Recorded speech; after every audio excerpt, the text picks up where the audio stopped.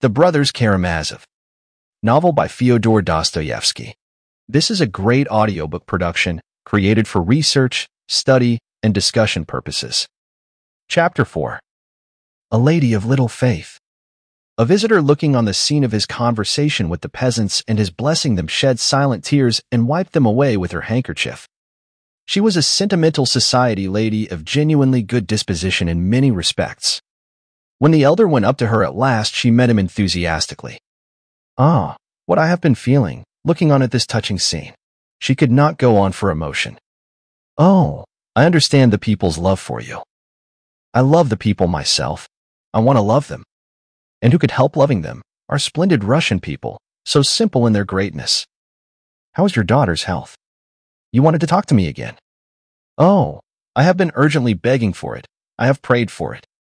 I was ready to fall on my knees and kneel for three days at your windows until you let me in.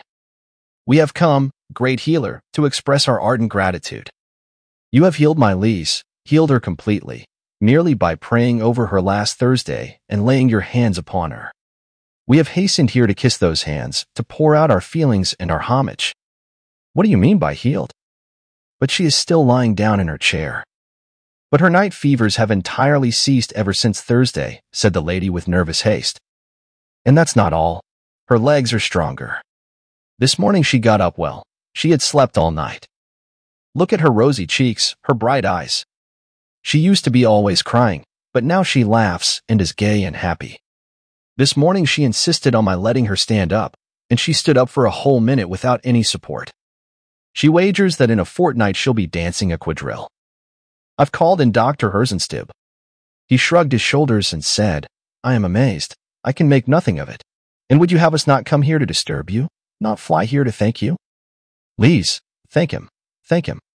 Lise's pretty little laughing face became suddenly serious. She rose in her chair as far as she could and, looking at the elder, clasped her hands before him, but could not restrain herself and broke into laughter. It's at him, she said, pointing to Alyosha, with childish vexation at herself for not being able to repress her mirth. If anyone had looked at Alyosha standing a step behind the elder, he would have caught a quick flush crimsoning his cheeks in an instant. His eyes shone, and he looked down. She has a message for you, Alexei Fyodorovitch. How are you? The mother went on, holding out her exquisitely gloved hand to Alyosha. The elder turned round and all at once looked attentively at Alyosha. The latter went nearer to Lise and, smiling in a strangely awkward way, held out his hand to her too. Lise assumed an important air. Katerina Ivanovna has sent you this through me. She handed him a little note. She particularly begs you to go and see her as soon as possible, that you will not fail her, but will be sure to come. She asks me to go and see her? Me? What for? Alyosha muttered in great astonishment. His face at once looked anxious. Oh, it's all to do with Dmitri Fyodorovitch and what has happened lately, the mother explained hurriedly. Katerina Ivanovna has made up her mind, but she must see you about it. Why, of course, I can't say. But she wants to see you at once. And you will go to her, of course. It is a Christian duty. I have only seen her once, Alyosha protested with the same perplexity. Oh, she is such a lofty, incomparable creature. If only for her suffering. Think what she has gone through, what she is enduring now. Think what awaits her. It's all terrible, terrible. Very well, I will come, Alyosha decided, after rapidly scanning the brief, enigmatic note, which consisted of an urgent entreaty that he would come, without any sort of explanation. Oh, how sweet and generous that would be of you, cried Lise with sudden animation. I told Mama you'd be sure not to go. I said you were saving your soul. How splendid you are. I've always thought you were splendid. How glad I am to tell you so. Lise, said her mother impressively, though she smiled after she had said it. You have quite forgotten us, Alexei Fyodorovitch, she said. You never come to see us. Yet Lise has told me twice that she is never happy except with you. Alyosha raised his downcast eyes and again flushed, and again smiled without knowing why. But the elder was no longer watching him. He had begun talking to a monk who, as mentioned before, had been awaiting his entrance by Lise's chair. He was evidently a monk of the humblest, that is of the peasant class, of a narrow outlook, but a true believer and, in his own way, a stubborn one. He announced that he had come from the far north, from Obdorsk, from St. Sylvester, and was a member of a poor monastery, consisting of only ten monks. The elder gave him his blessing and invited him to come to his cell whenever he liked. How can you presume to do such deeds? The monk asked suddenly, pointing solemnly and significantly at Lise. He was referring to her healing. It's too early, of course, to speak of that. Relief is not complete cure and may proceed from different causes. But if there has been any healing, it is by no power but God's will. It's all from God. Visit me, Father, he added to the monk. It's not often I can see visitors. I am ill, and I know that my days are numbered. Oh, no, no. God will not take you from us. You will live a long, long time yet, cried the lady. And in what way are you ill? You look so well, so gay and happy. I am extraordinarily better today. But I know that it's only for a moment. I understand my disease now thoroughly. If I seem so happy to you, you could never say anything that would please me so much. For men are made for happiness, and anyone who is completely happy has a right to say to himself, I am doing God's will on earth. All the righteous, all the saints, all the holy martyrs were happy. Oh, how you speak! What bold and lofty words, cried the lady. You seem to pierce with your words. And yet, happiness, happiness, where is it? Who can say of himself that he is happy?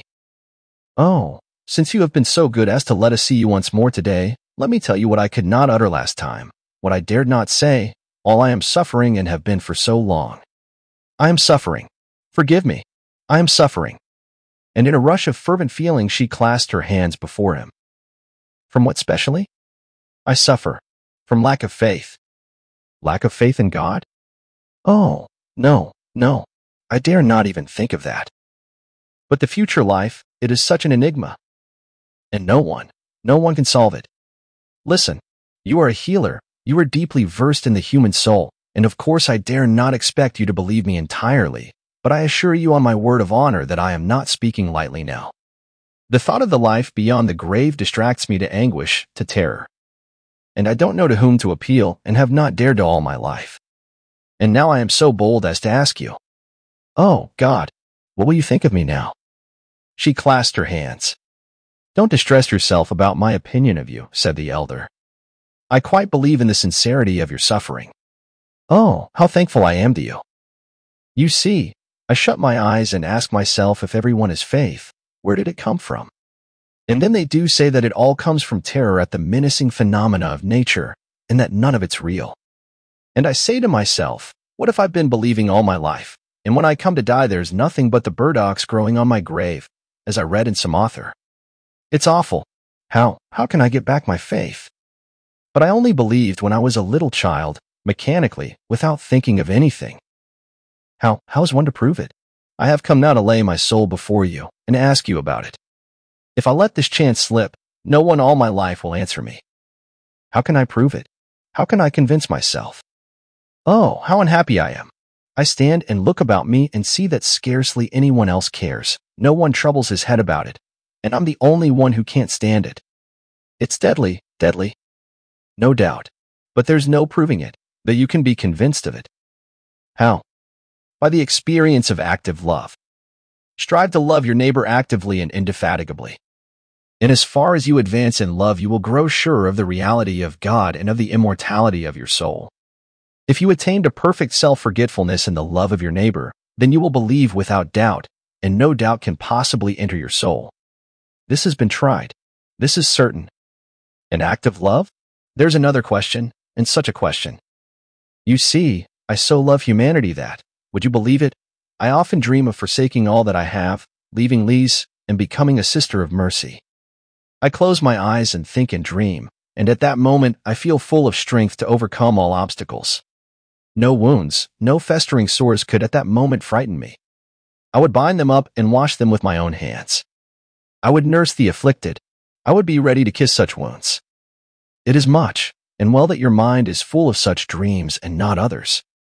Sometime, Unawares, you may do a good deed in reality. Yes, but could I endure such a life for long? The lady went on fervently, almost frantically. That's the chief question. That's my most agonizing question. I shut my eyes and ask myself, would you persevere long on that path? And if the patient whose wounds you are washing did not meet you with gratitude, but worried you with his whims, without valuing or remarking your charitable services, began abusing you and rudely commanding you, and complaining to the superior authorities of you, which often happens when people are in great suffering, what then? Would you persevere in your love or not? And do you know, I came with horror to the conclusion that, if anything could dissipate my love to humanity, it would be ingratitude. In short, I am a hired servant. I expect my payment at once, that is, praise, and the repayment of love with love. Otherwise, I am incapable of loving anyone. She was in a very paroxysm of self-castigation, and, concluding, she looked with defiant resolution at the elder. It's just the same story as a doctor once told me, observed the elder. He was a man getting on in years, and undoubtedly clever. He spoke as frankly as you, though in jest and bitter jest. I love humanity, he said, but I wonder at myself. The more I love humanity in general, the less I love man in particular. In my dreams, he said, I have often come to making enthusiastic schemes for the service of humanity, and perhaps I might actually have faced crucifixion if it had been suddenly necessary. And yet I am incapable of living in the same room with anyone for two days together, as I know by experience. As soon as anyone is near me, his personality disturbs my self-complacency and restricts my freedom. In 24 hours, I begin to hate the best of men, one because he's too long over his dinner, another because he has a cold and keeps on blowing his nose. I become hostile to people the moment they come close to me. But it has always happened that the more I detest men individually, the more ardent becomes my love for humanity. But what's to be done? What can one do in such a case? Must one despair? No, it is enough that you are distressed at it. Do what you can, and it will be reckoned unto you. Much is done already in you since you can so deeply and sincerely know yourself. If you have been talking to me so sincerely, simply to gain approbation for your frankness, as you did from me just now, then of course you will not attain to anything in the achievement of real love. It will all get no further than dreams, and your whole life will slip away like a phantom. In that case, you will naturally cease to think of the future life too and will of yourself grow calmer after a fashion in the end. You have crushed me. Only now, as you speak, I understand that I was really only seeking your approbation for my sincerity when I told you I could not endure ingratitude. You have revealed me to myself. You have seen through me and explained me to myself. Are you speaking the truth? Well, now, after such a confession, I believe that you are sincere and good at heart. If you do not attain happiness, Always remember that you are on the right road and try not to leave it. Above all, avoid falsehood, every kind of falsehood, especially falseness to yourself. Watch over your own deceitfulness and look into it every hour, every minute. Avoid being scornful, both to others and to yourself. What seems to you bad within you will grow pure from the very fact of your observing it in yourself. Avoid fear, too, though fear is only the consequence of every sort of falsehood. Never be frightened at your own faint-heartedness in attaining love. Don't be frightened overmuch even at your evil actions. I am sorry I can say nothing more consoling to you, for love in action is a harsh and dreadful thing compared with love in dreams. Love in dreams is greedy for immediate action, rapidly performed and in the sight of all. Men will even give their lives if only the ordeal does not last long but is soon over, with all looking on and applauding as though on the stage. But active love is labor and fortitude, and for some people too, perhaps, a complete science. But I predict that just when you see with horror that in spite of all your efforts you are getting farther from your goal instead of nearer to it, at that very moment I predict that you will reach it. And behold clearly the miraculous power of the Lord who has been all the time loving and mysteriously guiding you. Forgive me for not being able to stay longer with you. They are waiting for me. Goodbye. The lady was weeping. Lise, Lise, bless her, bless her, she cried, starting up suddenly. She does not deserve to be loved. I have seen her naughtiness all along, the elder said jestingly. Why have you been laughing at Alexei? Lise had in fact been occupied in mocking at him all the time.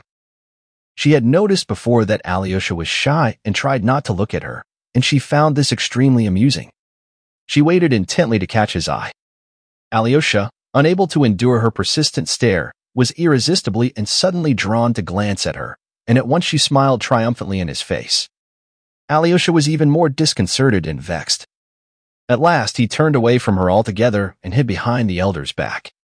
After a few minutes, drawn by the same irresistible force, he turned again to see whether he was being looked at or not, and found Lise almost hanging out of her chair to peep sideways at him, eagerly waiting for him to look.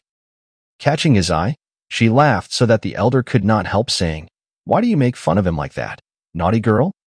Lise suddenly and quite unexpectedly blushed. Her eyes flashed and her face became quite serious. She began speaking quickly and nervously in a warm and resentful voice. Why has he forgotten everything, then? He used to carry me about when I was little. We used to play together. He used to come to teach me to read, do you know? Two years ago, when he went away, he said that he would never forget me, that we were friends forever, forever, forever. And now he's afraid of me all at once. Am I going to eat him? Why doesn't he want to come near me? Why doesn't he talk? Why won't he come and see us?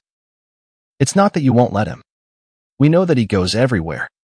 It's not good manners for me to invite him. He ought to have thought of it first, if he hasn't forgotten me. No, now he's saving his soul. Why have you put that long gown on him? If he runs, he'll fall. And suddenly she hid her face in her hand and went off into irresistible, prolonged, nervous, inaudible laughter. The elder listened to her with a smile and blessed her tenderly. As she kissed his hand, she suddenly pressed it to her eyes and began crying. Don't be angry with me. I'm silly and good for nothing. And perhaps Alyosha's right, quite right, in not wanting to come and see such a ridiculous girl. I will certainly send him, said the elder. For more audiobook like this, hit the subscribe button and click on the notification bell so you get notified when we post a new audiobook. Thanks for listening.